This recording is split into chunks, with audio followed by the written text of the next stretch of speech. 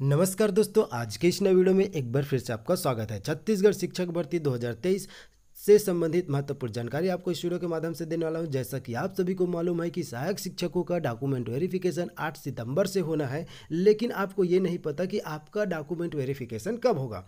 अपना verification date कैसे पता करना है, आपको इस वीडियो के माध्यम से पता चल जाएगा। साथ ही साथ इस वीडियो में मैं वेरिफिकेशन प्रपत्र आपको कौन सा फॉर्मेट लेकर के जाना है और साथ ही साथ क्या इंपॉर्टेंट डॉक्यूमेंट लगेगा, ये सभी जानकारी आपको इस वीडियो के माध्यम से देने वाला हूँ। तो सभी जानकारी के लिए आप वीडियो में तक बने रहे। एक एक करके हर एक जानकारी आपको इस वीडियो के माध्यम से मिल जाएगी। और यदि आप चैनल में नए हैं, इसी प्रकार के नए नए अपडेट पाना चाह रहे हैं तो चैनल को सब्सक्राइब करके बेलाइकन को प्रेस कर सकते हैं। तो चलिए स्टार्ट करते हैं आज के महत्वपूर्ण वीडियो दोस्तों, पहले हम देख लेते हैं क्या क्या डॉक्यूमेंट लगेगा क्या क्या आवश्यक पॉइंट है। देखिए, सहायक शिक्षक दस्तावेज़ सत्यापन के लिए महत्वपूर्ण पॉइंट क्या है कि एक एक दो हज़ार तेईस की स्थिति में अभ्यर्थी की न्यूनतम आयु इक्कीस वर्ष तथा अधिकतम चालीस वर्ष होना चाहिए। अनुसूचित जाति, अनुसूचित जनजाति, अन्य पिछड़ा वर्ग समस्त श्रेणी के महिला अभ्यर्थियों की अधिकतम आयु सीमा पैंतालीस वर्ष तक हो सकती है। जन्म तिथि कक्षा दसवीं के अंक सूची के आधार पर ली जाएगी। उसके देखिए, आपको और क्या क्या डॉक्यूमेंट जमा करना है? कक्षा दसवीं की अंक सूची, बारहवीं की अंक सूची, न्यूनतम पैंतालीस प्रतिशत अंक बारहवीं में होना चाहिए। D Ed D El Ed उत्तीर्ण प्रमाण पत्र अभ्यर्थी का प्राथमिक स्तर का टेट उत्तीर्ण होना अनिवार्य है, चाहे सी जी टेट हो या सी टेट हो। छत्तीसगढ़ राज्य का मूल निवासी प्रमाण पत्र होना चाहिए। अनुविभागीय अधिकारी द्वारा जारी स्थायी प्रमाण पत्र होना चाहिए। यदि आप कैटेगरी के अंतर्गत आते हैं तब, और जनरल को तो जाति प्रमाण पत्र नहीं लगेगा। मेडिकल बोर्ड द्वारा जारी दिव्यांगता प्रमाण पत्र ठीक? उसके देखिए, नेक्स्ट। उपरोक्त सभी दस्तावेजों की स्व हस्ताक्षरित आपको क्या कर लेना है? सेल्फ अटेस्टेड कर लेना है, प्रस्तुत करना है तथा सत्यापनकर्ता अधिकारी इन डॉक्यूमेंट का मिलान करेंगे। इस प्रकार से देखिए, अभ्यर्थी का टीईटी उत्तीर्ण प्रमाण पत्र एवं उसके द्वारा D Ed D El Ed B Ed में प्रवेश लेने के बाद जारी हुआ होना चाहिए। देखिए, अभ्यर्थी का टेट टेट क्या होना चाहिए? कि आप जो टेट आप पास किए हैं D Ed D El Ed B Ed में जो एडमिशन लिए, उसके बाद होना चाहिए। जाति प्रमाण पत्र अनुविभागीय अधिकारी द्वारा होना चाहिए।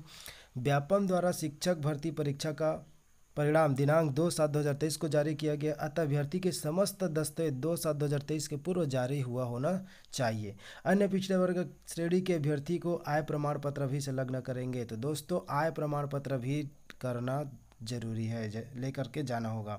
पूर्व से शासकीय सेवारत कर्मचारी नियोक्ता विभाग का अनापत्ति प्रमाण पत्र और भूतपूर्व सैनिक अपने सेवानिवृत्ति का प्रमाण पत्र प्रस्तुत करेंगे। इस प्रकार से ये सभी डॉक्यूमेंट लगेगा। अब देख लीजिए कि सहायक शिक्षक अभिलेख सत्यापन प्रपत्र, इस प्रपत्र को लेकर के आपको पूर्णतः भर करके जमा करना होगा। साफ़ अक्षरों में भरना है, ठीक है? आपको देखिए जो जो चीज़ें आपको समझ आती है, उसको भर लीजिए ठीक है, यहीं आप भर के आराम से घर में भर लीजिए। यह प्रपत्र इस प्रपत्र को मैं अपने टेलीग्राम ग्रुप में शेयर कर दूँगा। वहाँ से आप जा कर के डाउनलोड प्रिंट कर सकते हैं। ठीक है, इसका अगर आप लोगों का कमेंट रहेगा कि तो मैं ये सहायक शिक्षक अभिलेख सत्यापन प्रपत्र कैसे भरना इस पर भी वीडियो बना दूँगा अलग से। ठीक है, अभी इस वीडियो में मैं नहीं बता रहा हूँ। ये सभी जानकारी आप आराम से भर लेंगे।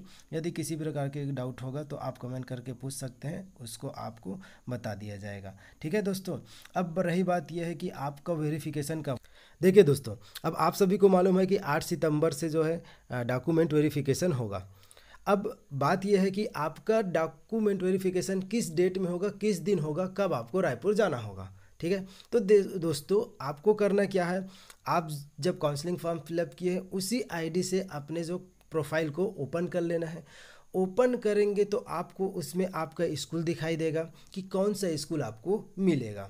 स्कूल दिखाई देगा, उसके बाद आपको एक्सेप्ट करना है। एक्सेप्ट हो जाएगा, आपको उसमें दिखेगा कि आपका वेरिफिकेशन किस डेट को है, कितने बजे है और कहाँ जाना है। ये सभी जानकारी आपके आईडी पर दिखने लगेगा। जब आप लॉगिन करेंगे, तब। आपको हड़बड़ाना नहीं है, हर एक चीज़ आपके आईडी पर दिखेगा और उसी डेट पर आपको वेरिफिकेशन के लिए सभी डॉक्यूमेंट दस्तावेज़ तैयार करके लेकर के आपको जाना होगा। ठीक है दोस्तों? यदि आपको सहायक शिक्षक या शिक्षक जिससे भी संबंधित कुछ भी डाउट हो तो आप कमेंट करके पूछ सकते हैं। तो दोस्तों, आज के लिए बस इतना ही। मिलते हैं फिर से एक नए वीडियो के साथ। थैंक यू फॉर वॉचिंग जय हिंद, जय भारत, जय छत्तीसगढ़।